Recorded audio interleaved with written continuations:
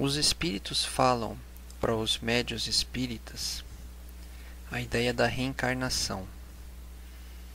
Eles falam que a gente passa aqui nessa vida várias vezes para estarmos se aperfeiçoando para um dia a gente poder estar junto com Deus, através de várias passagens por essa terra e cada vez melhorando mais para um dia poder estar junto com Deus.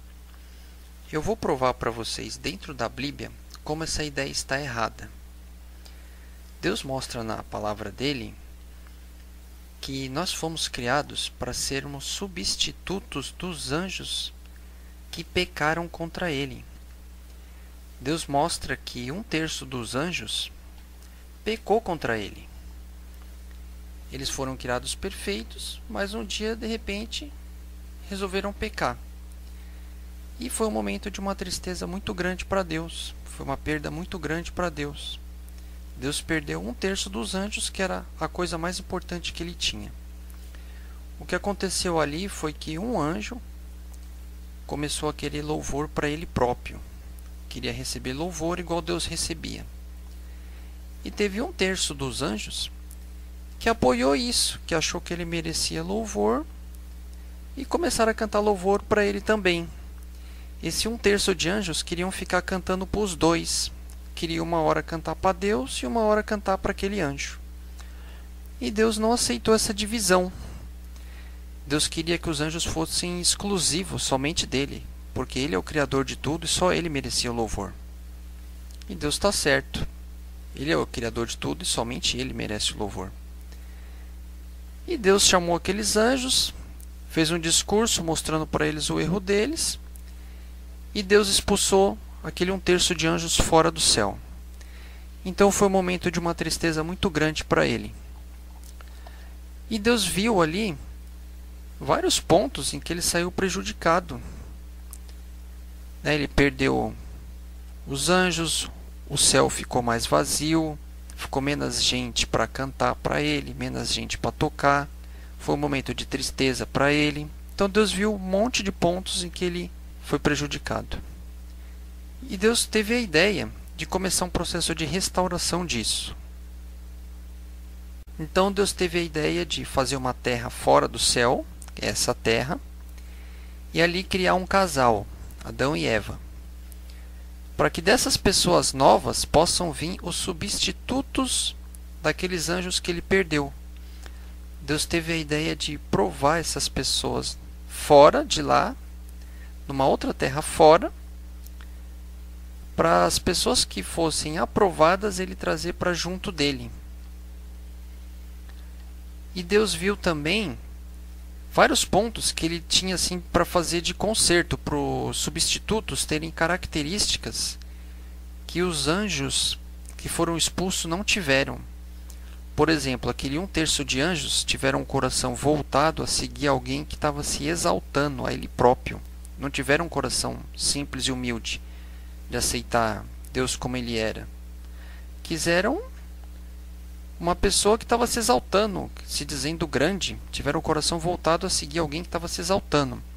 Então, um dos pontos que Deus viu que os substitutos teriam que ter é um coração simples, humilde, que seguisse um Deus humilde.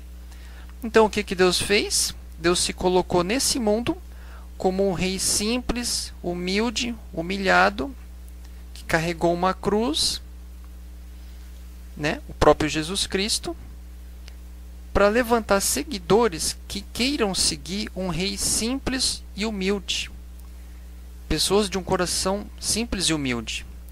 E isso ele não viu naqueles anjos. Aqueles anjos não tiveram um coração simples e humilde. Não estavam contentes com o Deus que eles tinham. Então, nesse ponto, Deus fez o inverso. Deus preparou o substituto com o coração simples e humilde teve vários pontos que eu vou estar mostrando aqui. E um outro ponto também foi uma revanche particular com aquele anjo. Porque aquele anjo ele quis ser grande, ser igual a Deus. Né? Levantar seguidores através de se exaltar a si mesmo. Então Deus fez ao contrário. Deus se humilhou, que é o inverso do que o que ele fez, porque ele se exaltou. E Deus mostrou para ele que através da humilhação dele, ser um rei simples e humilde, ele levanta seguidores. são pessoas que querem seguir um rei simples e humilde. Então isso foi uma grande revanche naquele anjo. Então você pode ver que Deus criou esse mundo para fazer um conserto na sua primeira criação, lá no céu. Por isso que esse mundo é um lugar bagunçado, de vida difícil, porque Deus tem um objetivo em todos esses pontos. Deus tem um objetivo em a gente ter uma vida cheia de dificuldades, uma vida pobre. Em todos esses pontos, Deus tem objetivos. Por quê? Porque Ele deu tudo para os anjos. Os anjos eram perfeitos, os anjos eram lindos, os anjos tinham uma vida maravilhosa, tudo fácil, e eles não deram valor para nada. Então Deus quis que os substitutos fossem o inverso deles, em todos esses pontos. Fossem pessoas que passassem por uma vida difícil, tivessem muitas lutas, muitas provações, muitas dificuldades, porque essas pessoas iriam vencer tudo isso, ser fiel a Ele em todas essas situações, continuar sendo amiga dele, ele mesmo passando por todas essas dificuldades e provações, e assim essas pessoas estariam mostrando um grande valor para ele no último dia, porque passaram por coisas terríveis, mas continuaram fiéis a si mesmo.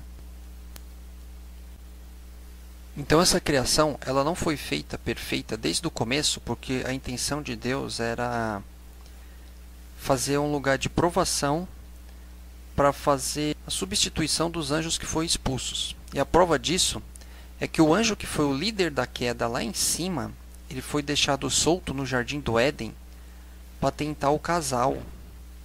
Aquilo ali foi a prova de que o casal foi feito por causa do pecado deles. Essa foi a grande prova de que nós fomos criados para ser substituto deles.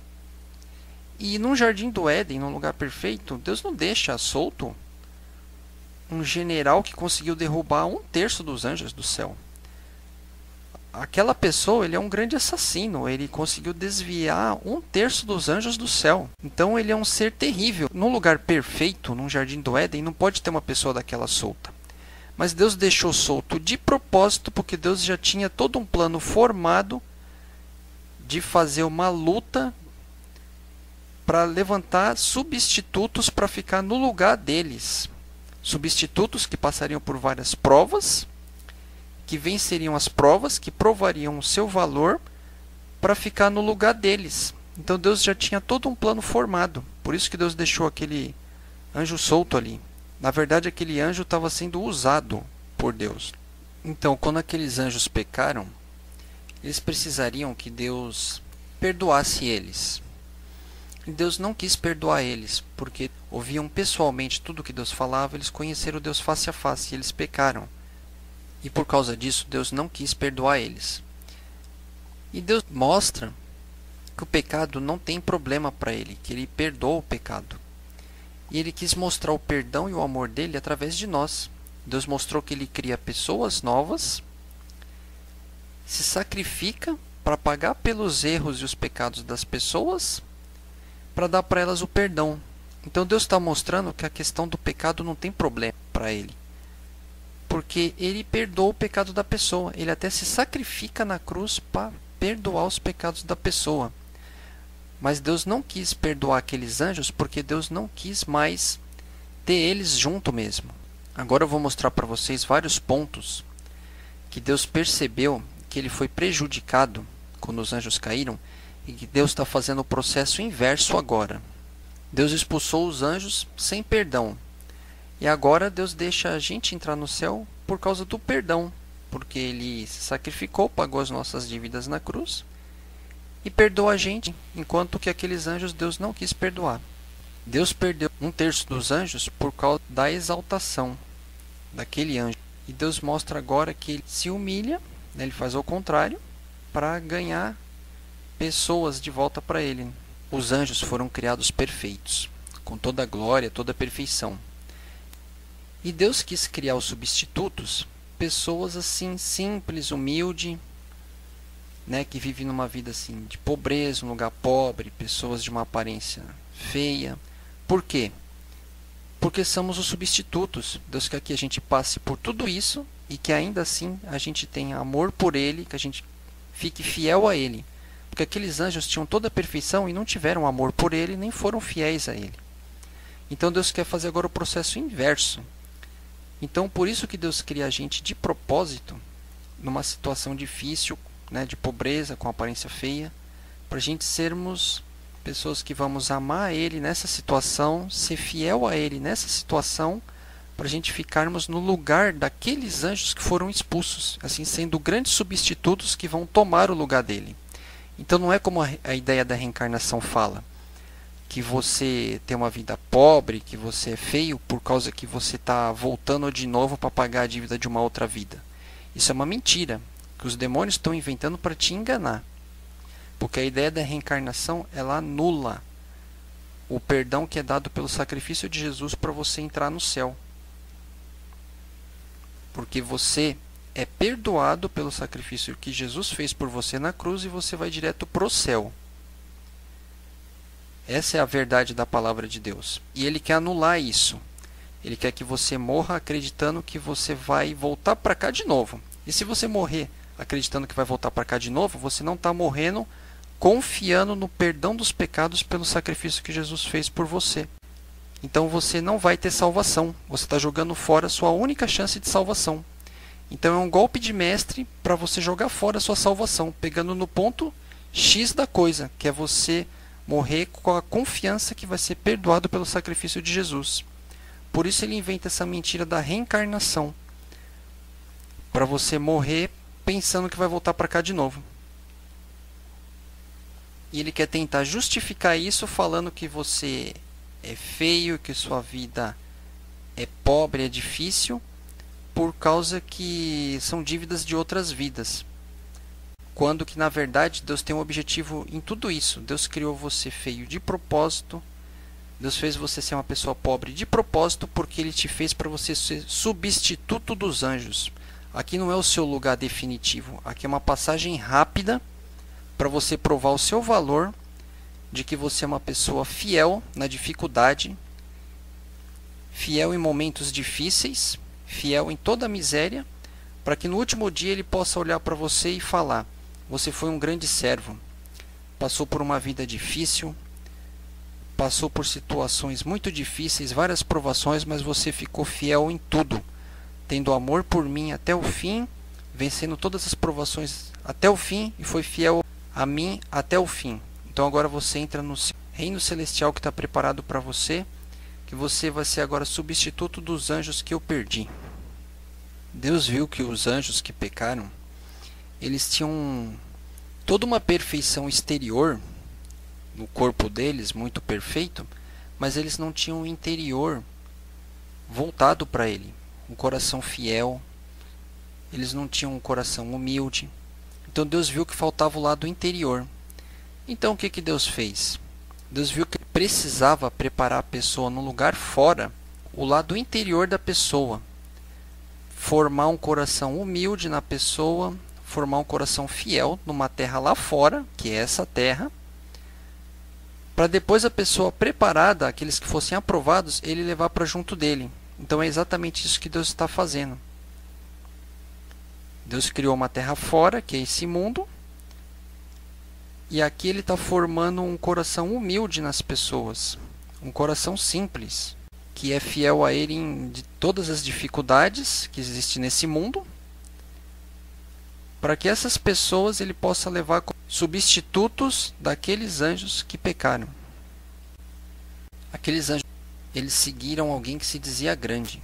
Deus se mostrou por inteiro para aqueles anjos. Deus falava com eles face a face. Eles viam Deus pessoalmente ali na frente deles. E eles pecaram. Então Deus quis fazer o inverso agora. Deus se esconde do homem e da mulher. Para que aquelas pessoas que queiram conhecer Ele, elas tenham que correr atrás, elas tenham que buscar um Deus que está escondido. Que ali ele vai ver quem realmente quer conhecer ele, quem realmente quer se aproximar dele.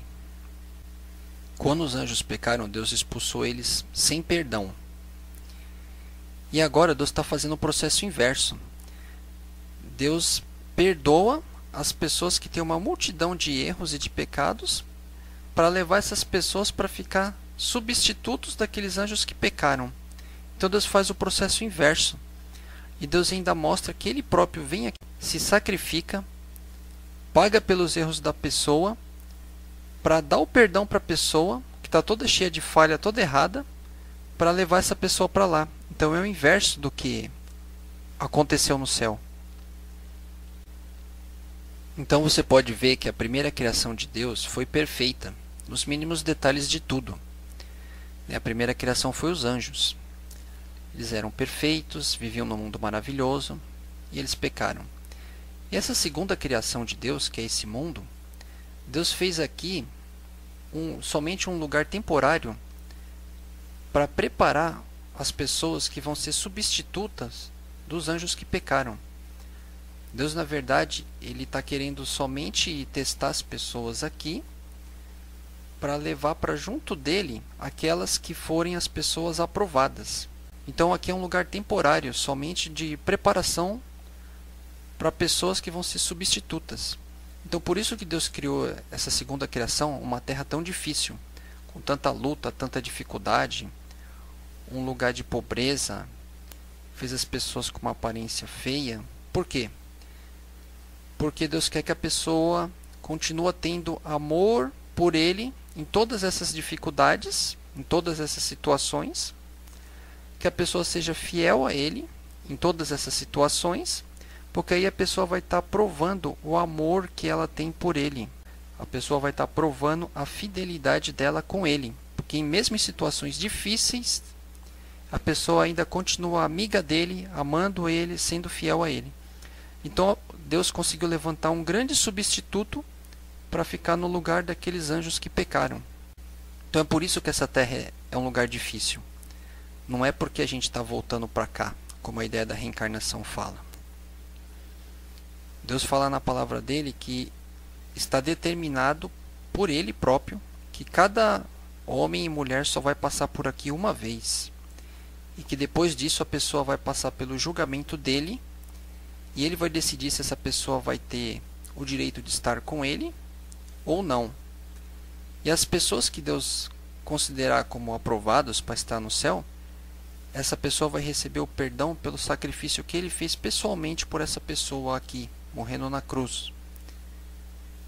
E vai dar para essa pessoa toda a purificação para essa pessoa poder estar no céu para sempre junto com ele você pode ver bastante sobre essa questão de nós sermos os substitutos dos anjos aqui nessa mesma página em um estudo que chama Somos os substitutos dos anjos. Eu vou mostrar para vocês várias passagens da Bíblia que provam que não existe reencarnação. A ideia da reencarnação ela é baseada na ideia do merecimento a pessoa tem que ter o merecimento para poder se aproximar de Deus. A pessoa tem que fazer boas obras, caridades, isso em muitas vidas, voltando para cá várias vezes, para ela ir conseguindo merecimento diante de Deus de estar cada vez mais próximo dele. A ideia que a Bíblia mostra é bem diferente disso. A ideia que está escrita na Bíblia é a ideia da justificação. Justificação significa que ele toma o nosso lugar, ele paga nossas dívidas e dá o perdão para a gente. É somente essa ideia que está escrita na Bíblia toda. Desde o tempo de Moisés, quando Deus mandava Moisés fazer o sacrifício do animal para a pessoa poder ter o perdão do pecado. Aquilo já era uma figura para mostrar que um dia ele viria pessoalmente pagar as nossas dívidas, para que a gente também pudesse ter perdão diante da santidade dele. E por que Deus faz assim? Porque Deus é extremamente santo. Ele é santíssimo. E na visão dele, quando a pessoa peca, a pessoa está imunda, e isso é uma coisa para sempre. A pessoa não tem mais como se limpar, porque ela está imunda pelo pecado. Então, na visão dele, não tem nada que a pessoa possa fazer para se limpar ou para se purificar desse pecado. A única solução que ele vê na visão dele é ele pagar os pecados da pessoa diante da santidade dele, porque ele tem um lado de santidade que exige que a pessoa, quando ela peca, que ela fique separada para sempre dele, porque ela está contaminada. E esse lado de santidade dele exige um pagamento pelo pecado que aconteceu. Por isso que ele próprio teve que vir aqui pessoalmente pagar as nossas dívidas. Ele pagou as nossas dívidas diante da própria santidade dele, que exige o pagamento do pecado daquela pessoa que errou.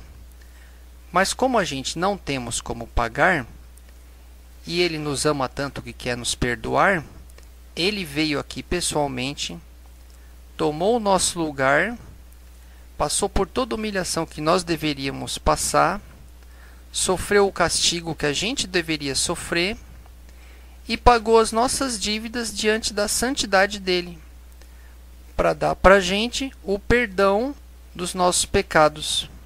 A Bíblia não fala em nenhum momento sobre a gente voltar para cá de novo, para esse mundo.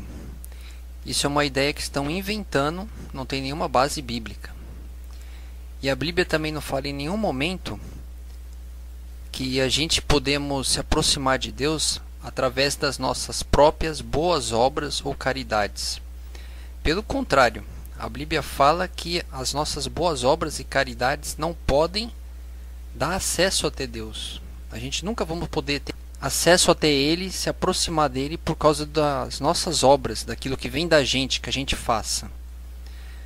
O que a Bíblia fala é que nós só podemos se aproximar dele através do sacrifício que ele fez, perdoando nossas dívidas e nós tendo o arrependimento de reconhecer os nossos erros e aceitar o perdão que ele quer dar para nós de graça. É falado muito no Novo Testamento uma palavra chamada graça. Graça significa um presente que Deus está dando de graça para a pessoa. É falado que a salvação é pela graça. Isso significa a salvação é um presente dado de graça por Deus para a gente porque ele nos ama e quer nos perdoar.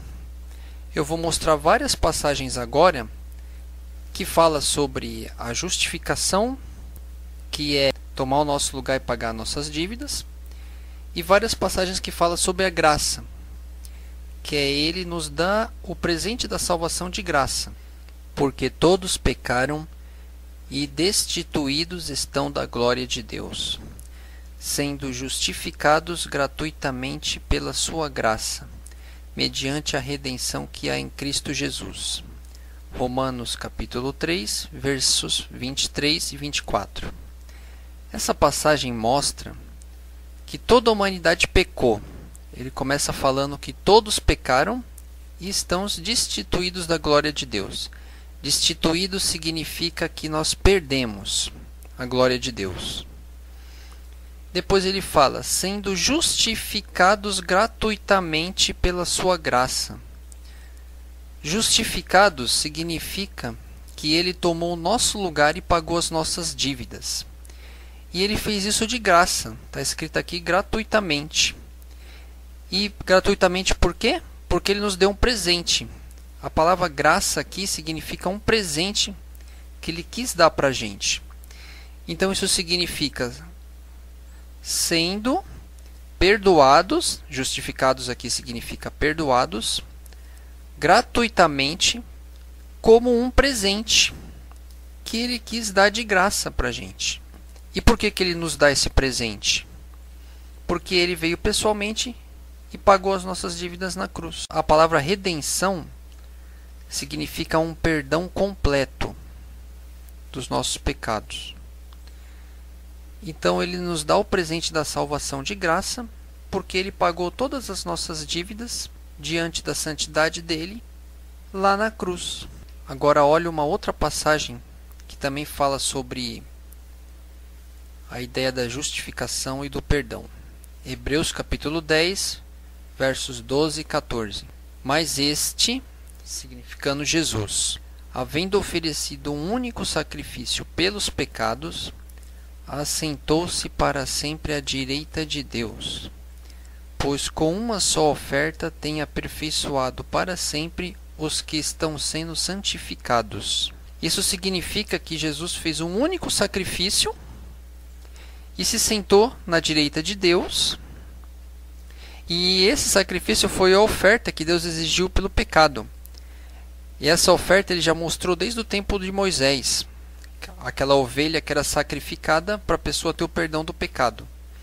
Ali já era uma figura que Deus estava mostrando que um dia ele viria pessoalmente aqui fazer o sacrifício que daria para a gente o perdão dos pecados diante da sua santidade. E aqui fala no final do versículo com uma só oferta tem aperfeiçoado para sempre. Então é a oferta que ele deu para ele próprio que nos aperfeiçoou diante dele para sempre. Aquele sacrifício na cruz nos aperfeiçoou para sempre diante dele.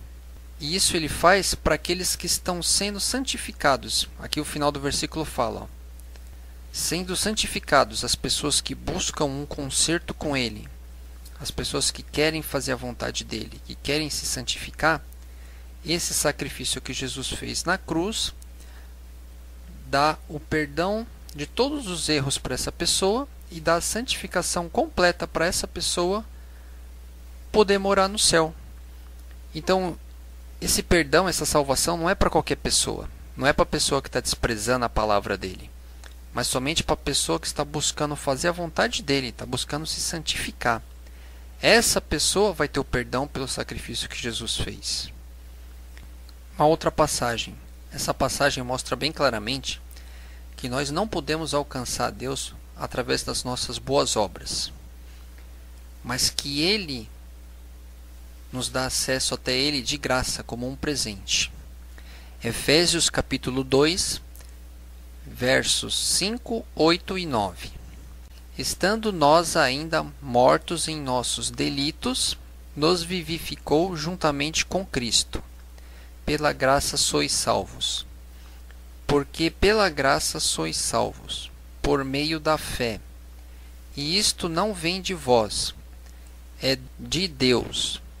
Não vem das obras, para que ninguém se glorie.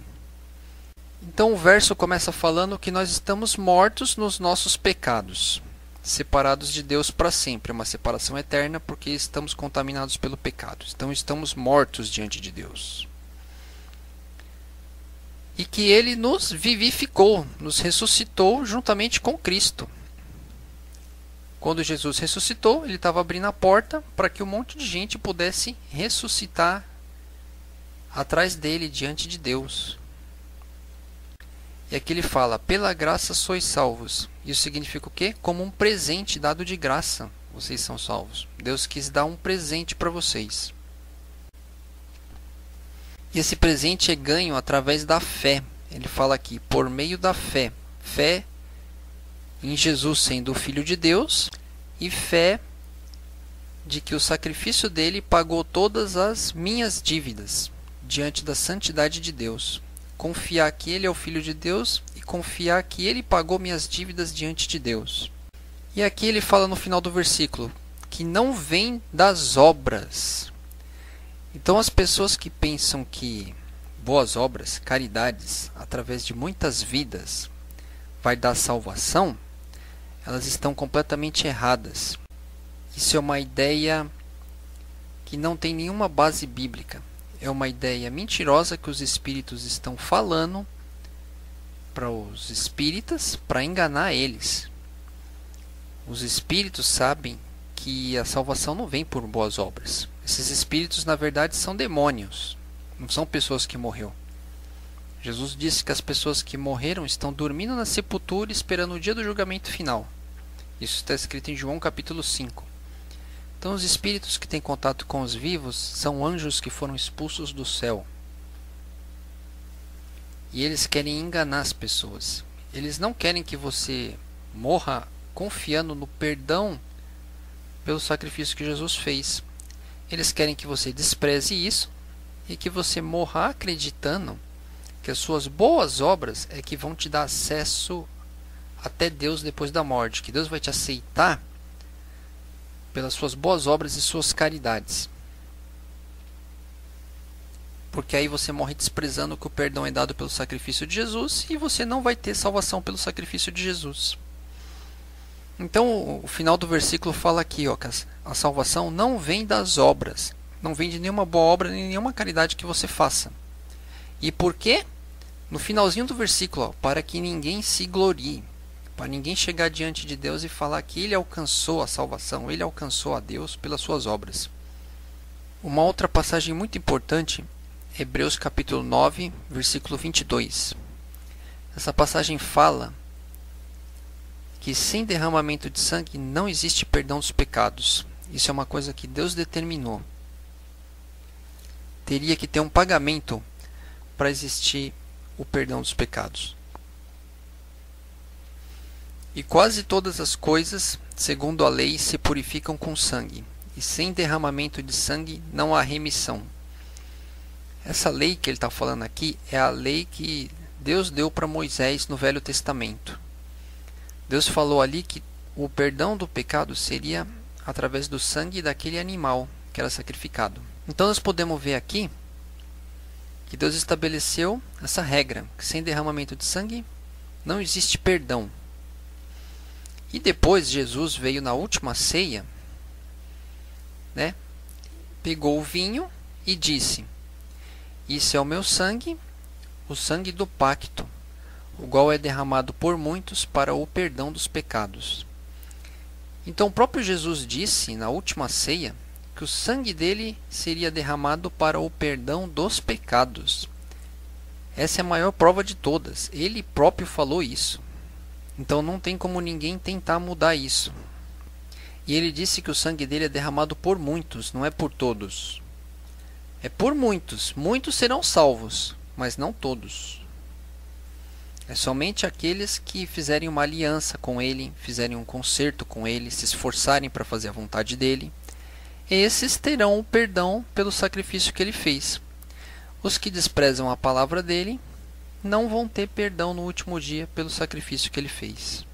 Você pode ver em Hebreus capítulo 9 capítulo 10 sobre essa questão de os sacrifícios que Deus mandou Moisés fazer ser para a gente ter o perdão dos pecados.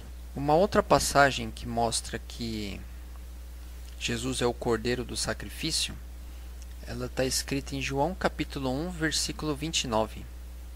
Foi quando João Batista viu Jesus vindo. Aí João Batista falou: Esse é o cordeiro de Deus que tira o pecado do mundo. As pessoas não conhecem o caminho que Deus estabeleceu para a gente chegar até ele. E as pessoas, na sua cegueira, acreditam em coisas diferentes, inventam coisas diferentes como formas de se aproximar de Deus. Então, esse versículo que eu vou ler agora fala justamente sobre isso. É Romanos capítulo 10, verso 3 e 4.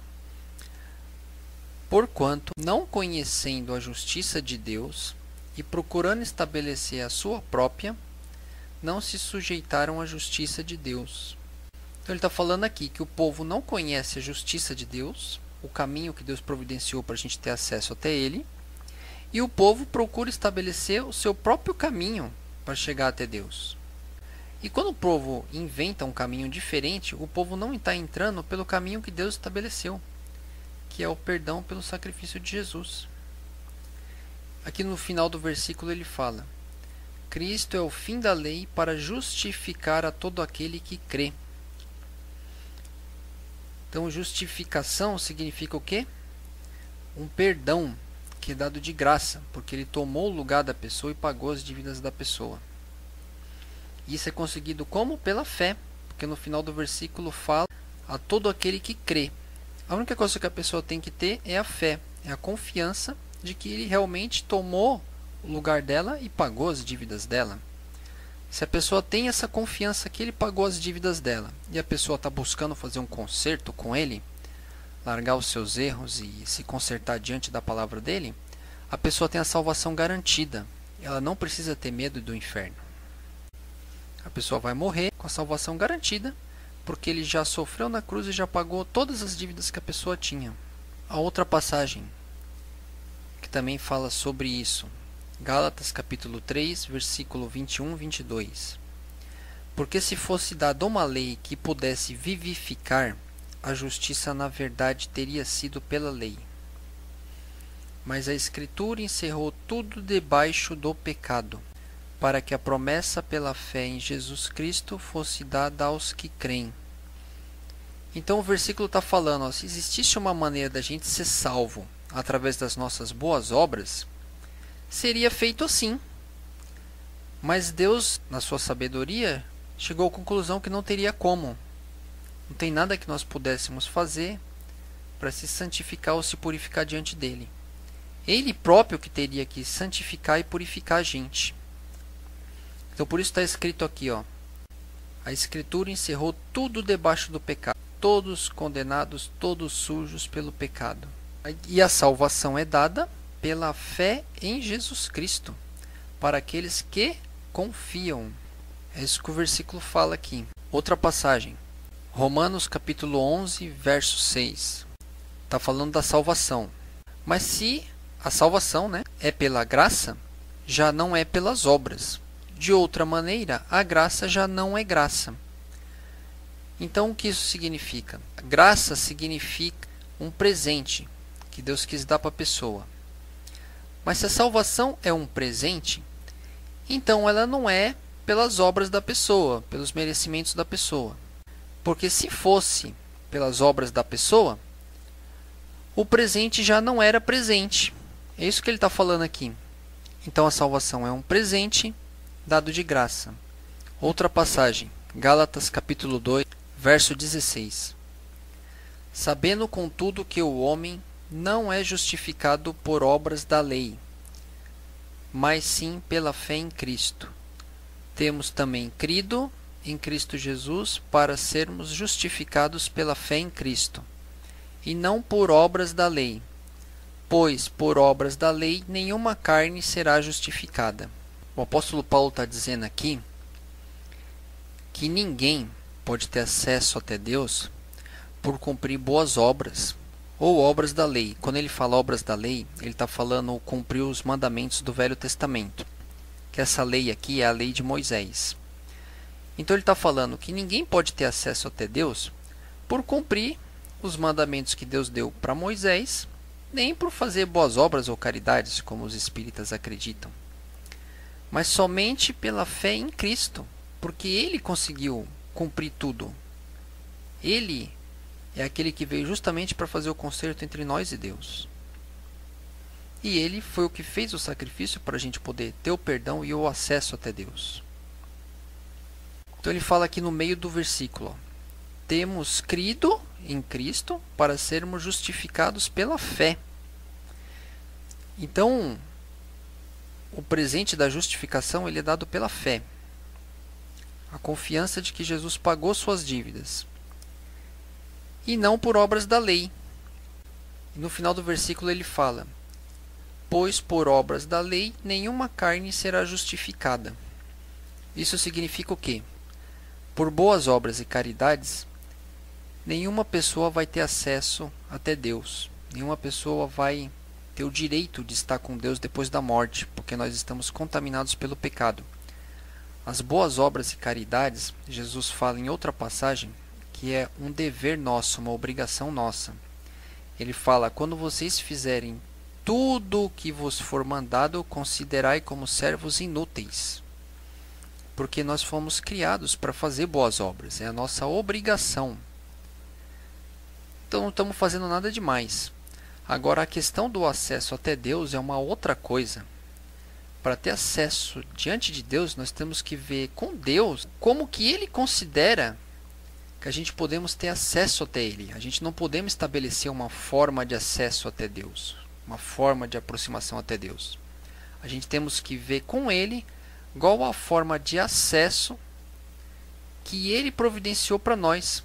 Como que Ele quer que a gente possa se aproximar, que a gente possa alcançar Ele. Então a gente temos que ouvir Ele. Outra passagem. Gálatas capítulo 3, verso 11. É evidente que pela lei ninguém é justificado diante de Deus, porque o justo viverá da fé. Então, de novo, o apóstolo Paulo está falando que é uma coisa clara que pela lei, né, pelas boas obras, caridade, por cumprir a lei de Moisés, ninguém pode ter acesso até Deus. Por quê? Porque o justo viverá da fé. O justo será salvo pela fé em Cristo. Outra passagem, Romanos capítulo 3, verso 28. Concluímos, pois, que o homem é justificado pela fé sem as obras da lei. Justificado, ó, é um perdão dado de graça. Ele tomou o nosso lugar e pagou nossas dívidas. E como que a pessoa recebe esse perdão de graça? Pela fé em Cristo, de que Cristo pagou suas dívidas. Outra passagem, Romanos capítulo 5, verso 1. Tendo sido, pois, justificados pela fé, temos paz com Deus por nosso Senhor Jesus Cristo. De novo ele fala aqui, justificados pela fé.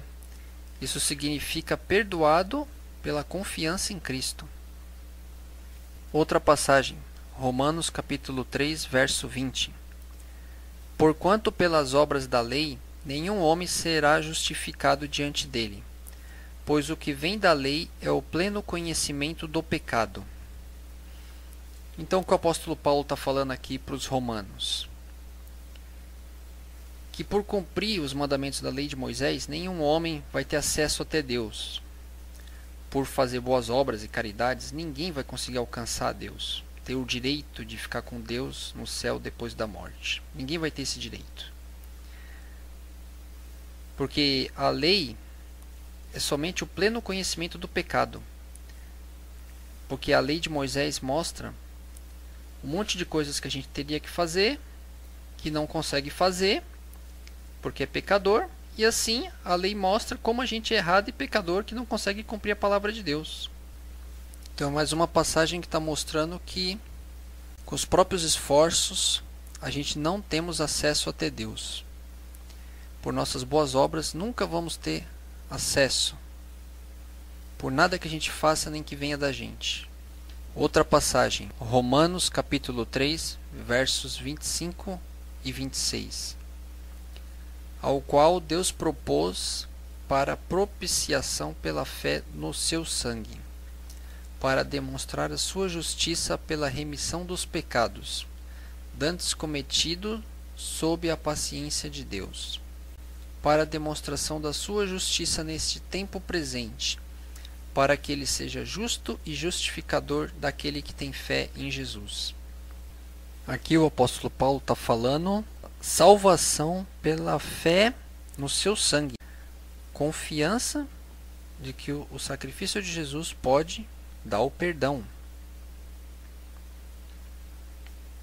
E ele demonstra a sua justiça, dando o perdão dos pecados. A palavra remissão dos pecados significa o perdão completo dos pecados.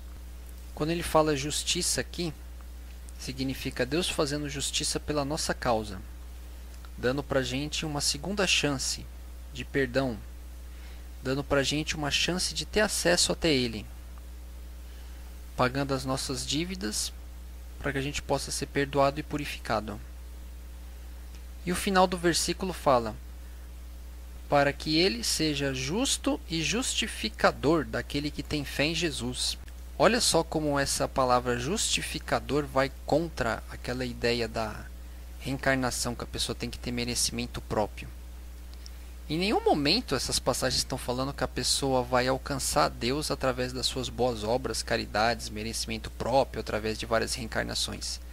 As passagens estão mostrando justamente o contrário: que é Deus que perdoa, que é Deus que dá a salvação como um presente, é que Deus que justifica a pessoa.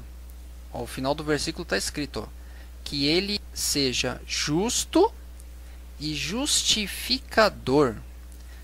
Justificador significa aquele que toma o lugar da pessoa e paga as dívidas dela.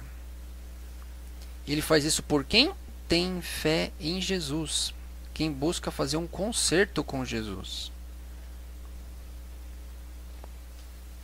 Outra passagem que fala a mesma coisa. Gálatas capítulo 3, verso 13. Cristo no resgatou da maldição da lei, fazendo-se maldição por nós, porque está escrito: Maldito todo aquele que for pendurado no madeiro. Isso daqui significa. Deus já falou no Velho Testamento que a pessoa que morresse na cruz seria amaldiçoado. Então, o que, que Jesus fez? Ele tomou o nosso lugar. Nós éramos amaldiçoados por causa do nosso pecado. Então, quando Jesus foi para a cruz, ele estava tomando o nosso lugar de maldição. Porque a cruz é um lugar maldito.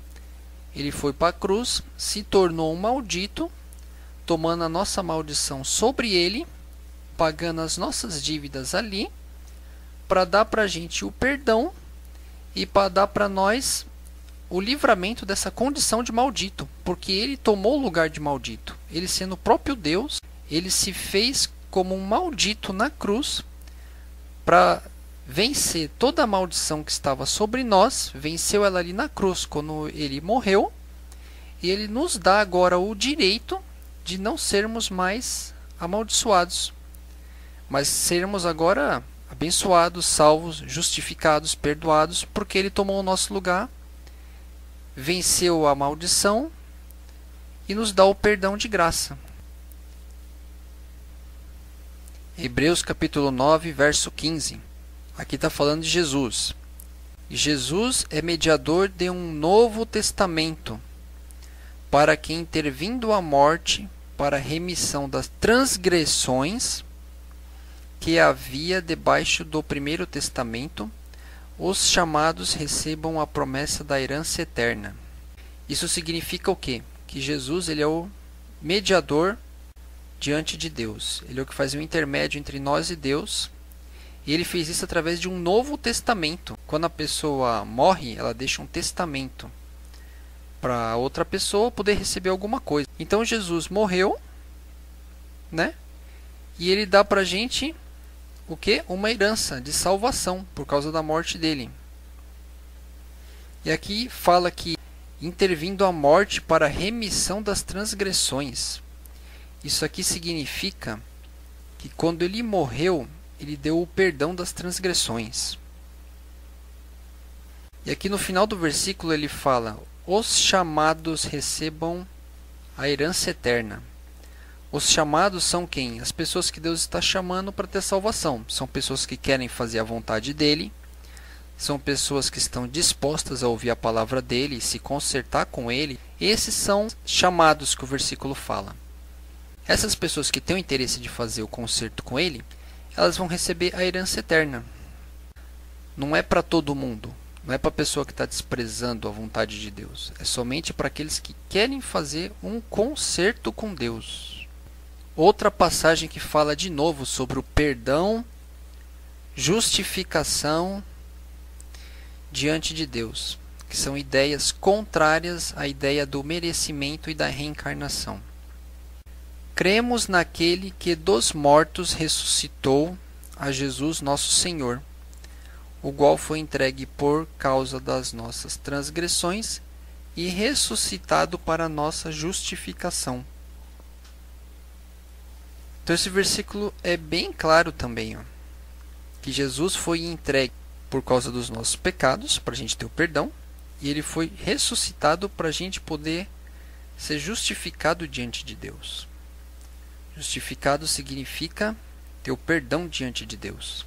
Quando Jesus ressuscitou, ele abriu a porta diante de Deus para todas as pessoas que fizeram concerto com ele ser perdoadas e entrar no céu no último dia graças a esse sacrifício que ele fez. Então são ideias bem contrárias às ideias da reencarnação e do merecimento que os espíritos falam para as pessoas acreditar. Outra passagem, Romanos capítulo 10, verso 4. Pois Cristo é o fim da lei para justificar a todo aquele que crê. Aqui de novo, justificação perdão diante de Deus para a pessoa que acredita que Jesus veio e morreu por isso. Outra passagem, Romanos capítulo 4, versos 2 e 5. Porque se Abraão foi justificado pelas obras, tem de que se gloriar, mas não diante de Deus, pois que diz a Escritura: Creu Abraão em Deus e isso lhe foi imputado como justiça. Mas aquele que não pratica, mas crê naquele que justifica o ímpio, a sua fé lhe é imputada como justiça. Então olha aqui, está falando que Abraão ele foi tornado um homem justo diante de Deus quando ele teve fé. Creu Abraão em Deus. Então isso significa que quando Abraão teve fé em Deus, Deus considerou ele como um homem justo, um homem justificado, que poderia ter acesso até ele. E está escrito aqui que isso foi lhe imputado como justiça. Diante de Deus, a fé que Abraão teve foi a justiça que deu o acesso até ele. E agora o verso 5 fala: Aquele que não pratica, mas crê naquele que justifica o ímpio, a sua fé lhe é imputada como justiça. Então, a chave aqui é que a pessoa acredite na justificação que Deus dá. Ímpio significa pessoa pecadora. Então a pessoa tem que confiar no perdão e na justificação que Deus dá. E o final do versículo fala que a sua fé lhe é colocada como uma justiça diante de Deus, do mesmo jeito que a fé de Abraão foi colocada diante de Deus como uma justiça. Outra passagem, Romanos capítulo 8, verso 3. Porquanto o que era impossível à lei, visto como estava enferma pela carne, Deus enviando seu filho em semelhança da carne do pecado, pelo pecado condenou o pecado na carne.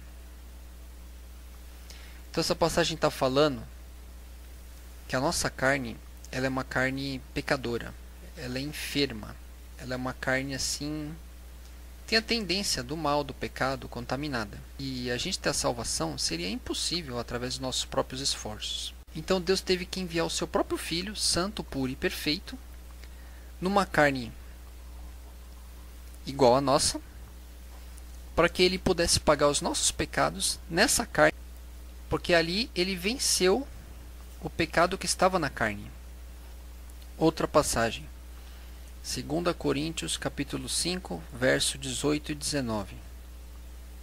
E tudo isto provém de Deus, que nos reconciliou consigo mesmo por Jesus Cristo, e nos deu o ministério da reconciliação isto é, Deus estava em Cristo reconciliando consigo o mundo, não lhes imputando os seus pecados, e pôs em nós a palavra da reconciliação. Então, olha como esse versículo é claro e profundo do mistério espiritual que Deus estava fazendo. Os espíritos falam para você que você tem que reencarnar através de várias vidas para você ter acesso até Deus fazendo o que? Muitas boas obras, caridades, se purificando, se santificando em muitas vidas, para um dia você poder alcançar Deus sozinho, com seus esforços. Mas o que a palavra de Deus está falando é justamente ao contrário. Aqui está falando que Deus nos reconciliou consigo mesmo por Jesus Cristo, pelo sacrifício que ele mesmo fez. Aqui o meio do versículo. Deus estava em Cristo reconciliando consigo o mundo. O que isso significa? Deus estava dando a chance para o mundo inteiro da salvação, porque os pecados estavam sendo pagos ali na cruz. E aqui ele fala: não lhes imputando os seus pecados. Significa não levando em conta os pecados do passado, mas perdoando tudo para quem quisesse fazer um conserto com ele.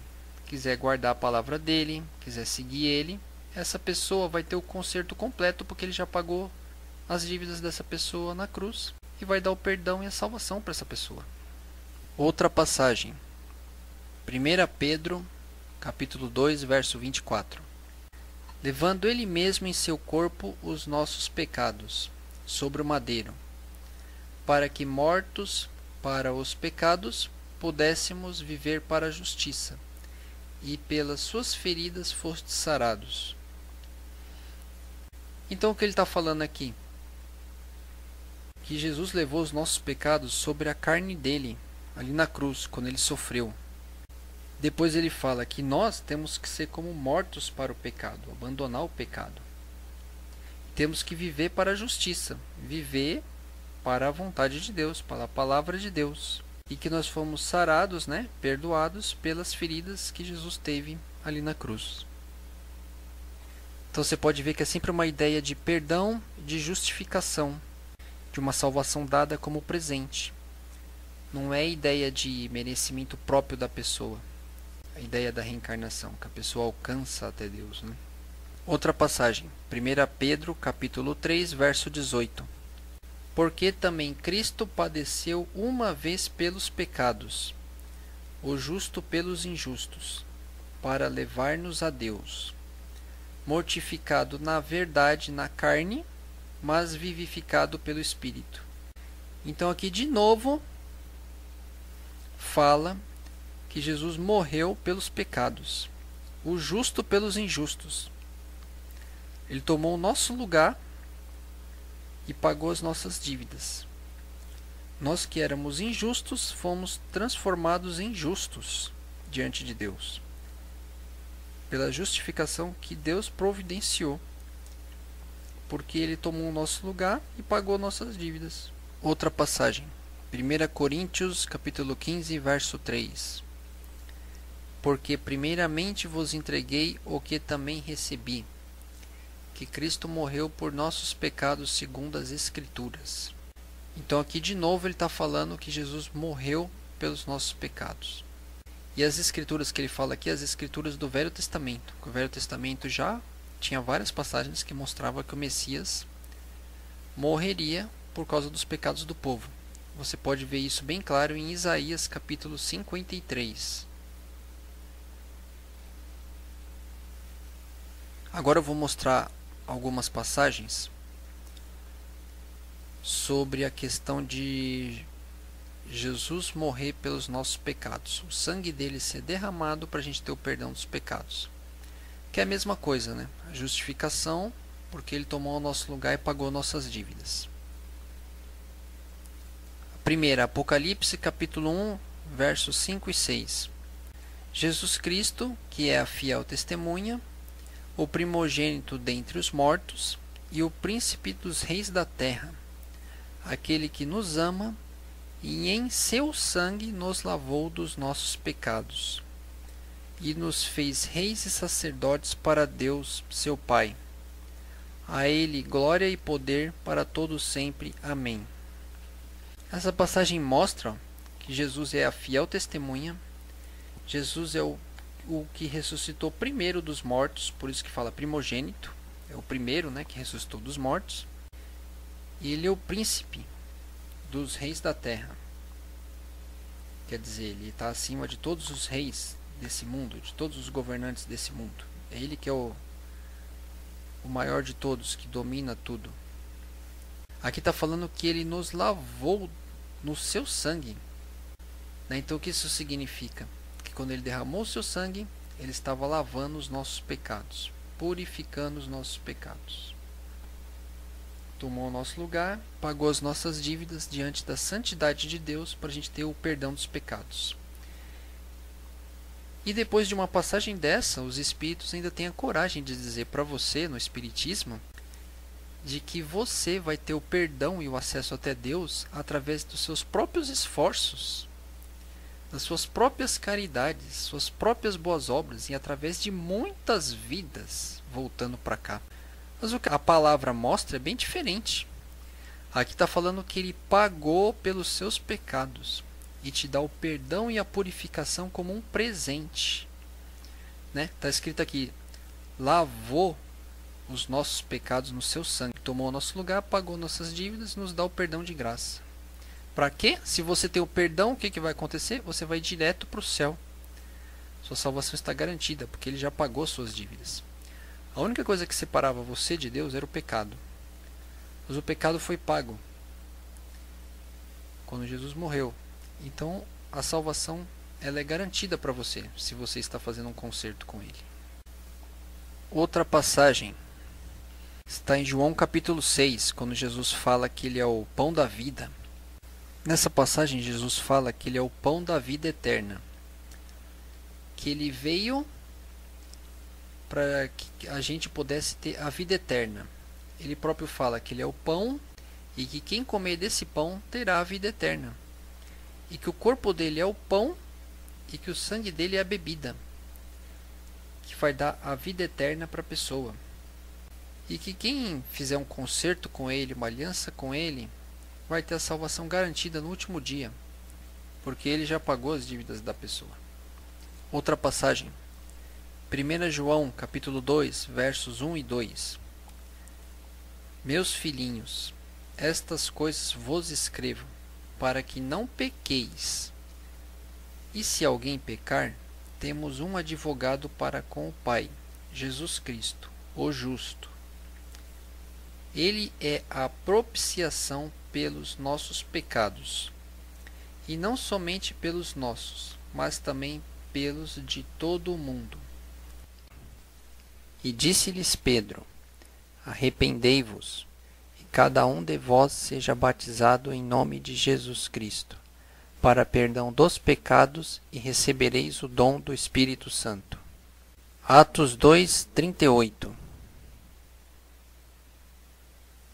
Deus com sua destra o elevou a príncipe e salvador, para dar a Israel o arrependimento e a remissão dos pecados.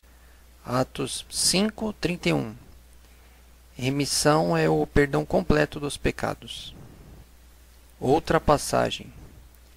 A este dão testemunho todos os profetas, de que todos os que nele crê receberão o perdão dos pecados pelo seu nome.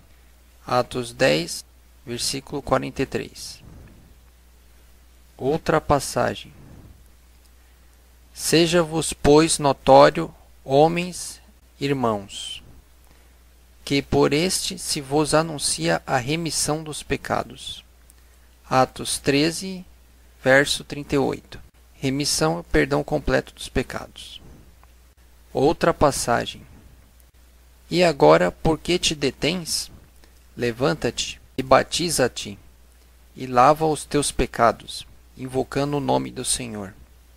Atos 22, 16.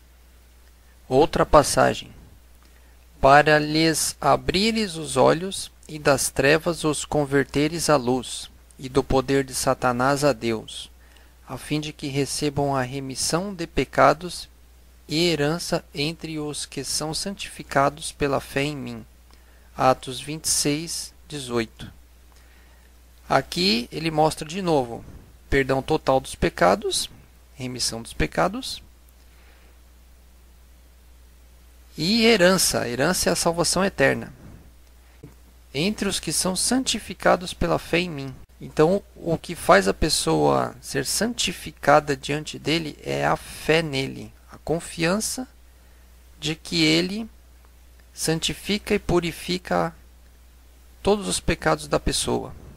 A confiança de que ele morreu para pagar suas dívidas e que agora te santifica e te purifica de todos os seus pecados. Outra passagem. Está falando de Jesus aqui. Em quem temos a redenção pelo seu sangue, a saber, a remissão dos pecados. Outra passagem.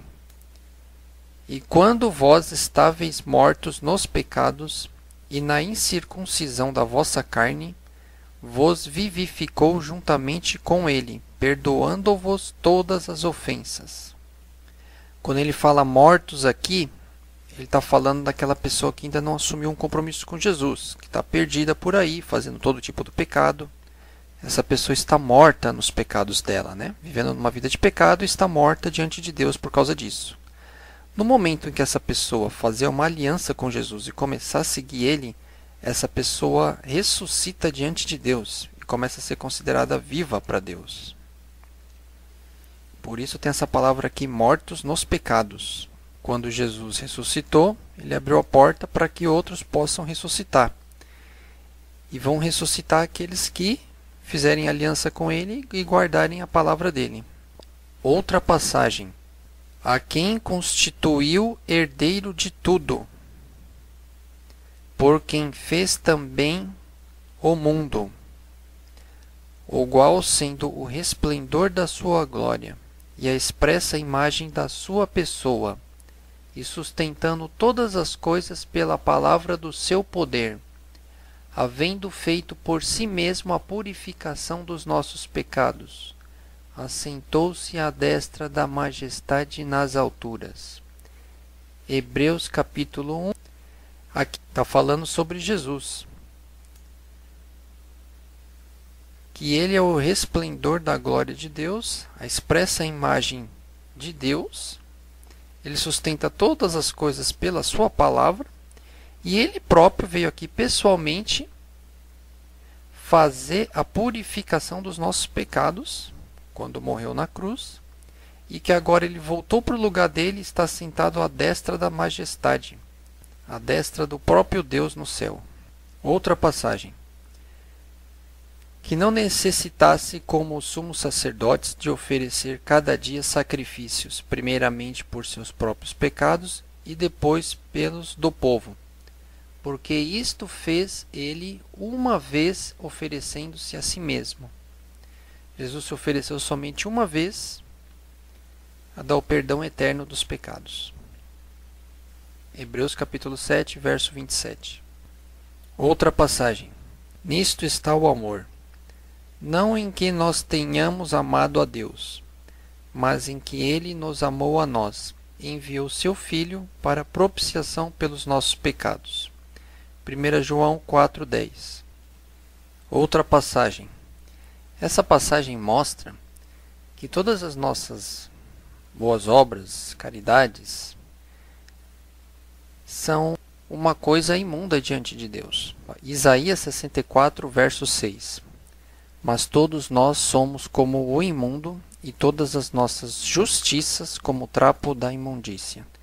E todos nós caímos como a folha, e as nossas culpas como um vento nos arrebatam. Justiças aqui são justamente boas obras. Está mostrando que a pessoa está contaminada e tudo que ela possa fazer de boas obras também é uma coisa contaminada.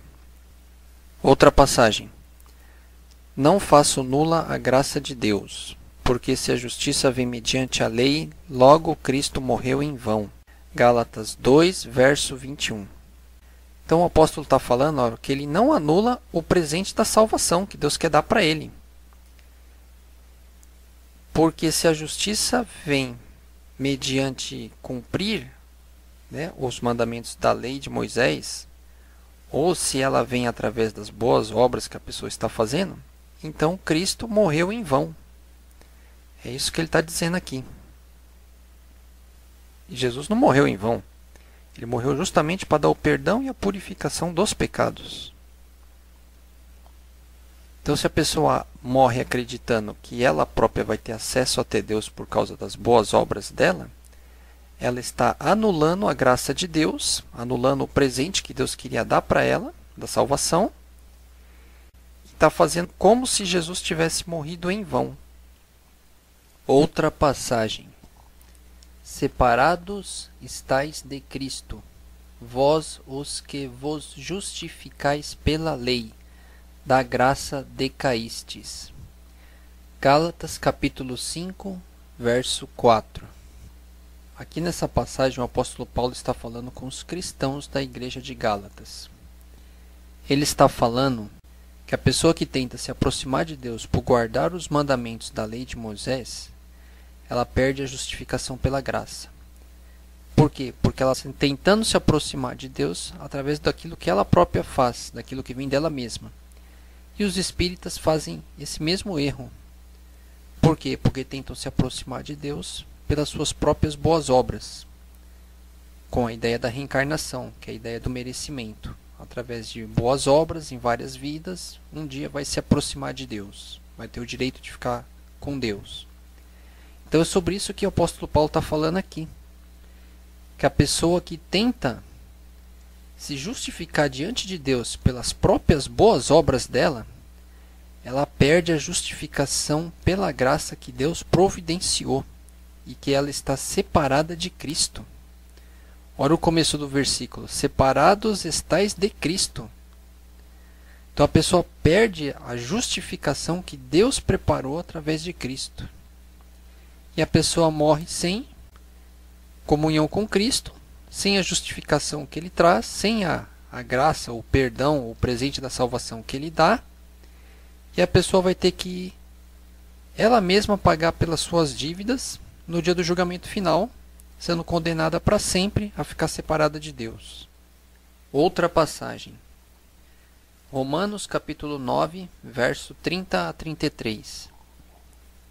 Que diremos, pois?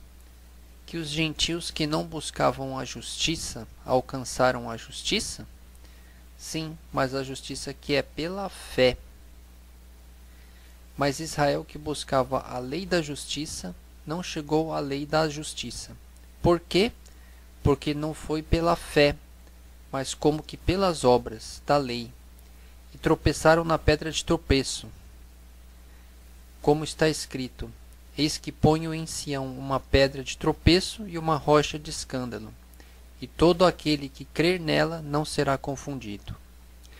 O que o apóstolo Paulo está falando aqui é que os gentios, que são as pessoas do mundo todo, elas conseguiram se aproximar de Deus através da fé em Jesus Cristo. Eles alcançaram a justiça que é pela fé. E ele está falando que os judeus não conseguiu alcançar Deus por cumprir os mandamentos da lei de Moisés. Por quê? Porque eles tentaram se aproximar de Deus pelas próprias boas obras deles, tentando guardar os mandamentos da lei de Moisés, que era o que eles tinham que fazer. Eles tinham que guardar os mandamentos de Deus da lei de Moisés mesmo. Só que quando veio a justificação pela fé em Cristo, eles não aceitaram então eles não conseguiram acesso até Deus, não conseguiram justificação diante de Deus. E os gentios conseguiram, porque tiveram fé em Jesus, confiança de que Jesus daria toda a justificação e todo o perdão de graça. Então é isso que o apóstolo Paulo está falando aqui. E ele fala no fim do versículo sobre uma pedra de tropeço e uma rocha de escândalo. Essa pedra de tropeço é o próprio Jesus. Deus está falando aqui: quem crer nessa pedra de tropeço não será confundido. Então, olha que mistério. Por que, que é uma pedra de tropeço? Porque a pessoa não acredita que ele traz a justificação e o perdão de graça. Então, ele se torna uma pedra de tropeço para essa pessoa. E é isso que acontece com todos os espíritas. Os espíritas não acreditam que Jesus dá o perdão para morar direto com Deus no céu, que ele pagou as nossas dívidas, que ele dá o acesso até Deus. Eles acham que eles próprios têm que alcançar a Deus através de fazer caridades e boas obras. Então Jesus está sendo para eles uma pedra de tropeço. Por quê? Porque eles vão tropeçar nessa pedra e eles vão cair e não vão se levantar mais.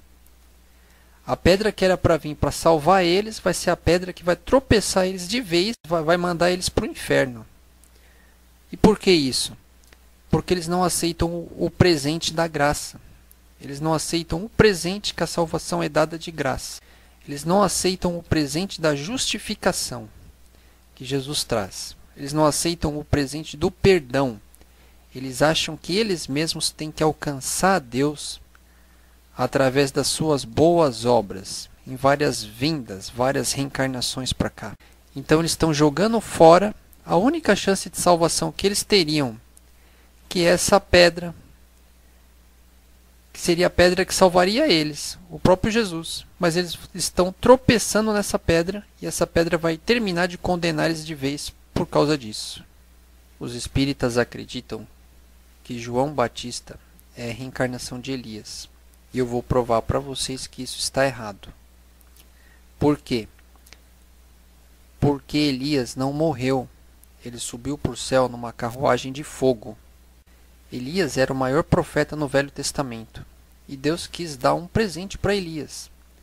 Dele poder ver o próprio Jesus pessoalmente na terra e dele poder fazer o batismo de Jesus pessoalmente na terra. Então o que Deus fez? Deus tirou Elias vivo da terra naquele momento, através da carruagem de fogo, e fez ele nascer uma segunda vez, como João Batista, para ele fazer o batismo de Jesus. Isso foi uma situação especial, foi a única vez que isso aconteceu, e Deus fez isso como uma exceção. E nesse caso não existiu reencarnação, porque Elias não morreu na primeira vida. Ele foi tirado vivo da terra na primeira vida e morreu somente na segunda vida. Morreu somente como João Batista. E depois que ele morreu, nunca mais volta para cá. Porque o próprio Deus disse que está determinado morrer somente uma vez e depois disso vem o dia do julgamento final. Então ele morreu somente uma vez, como João Batista. E teve uma outra coisa muito importante aqui, é que o anjo apareceu para o pai de João Batista e falou para ele que a criança nasceria cheia do Espírito Santo desde a barriga da mãe. As pessoas só recebem o Espírito Santo durante a sua vida, sua busca a Deus na sua jornada, quando ela quer fazer um compromisso com Deus, ela recebe o Espírito Santo. E no caso de João Batista, isso foi diferente, a criança já nasceu cheia do Espírito Santo. Por quê? Porque justamente era o profeta Elias que estava vindo como uma missão de fazer o batismo de Jesus, preparar o caminho de Jesus. Só que isso não foi como uma reencarnação, porque a primeira vez que ele morreu foi como João Batista. Eu vou deixar agora várias passagens escritas. Procure uma igreja evangélica para você poder se aproximar mais de Deus, conhecer mais a sua palavra.